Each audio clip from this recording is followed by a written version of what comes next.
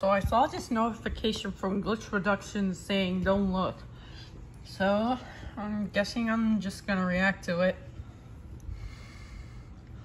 Want a worry-free way to kill bugs? Hopefully it's good. Zevo, people-friendly, bug deadly. An elevator? Or some...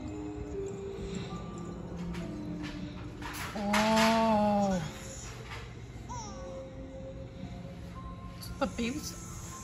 What the heck? Someone's laughing. What and Uzi doing?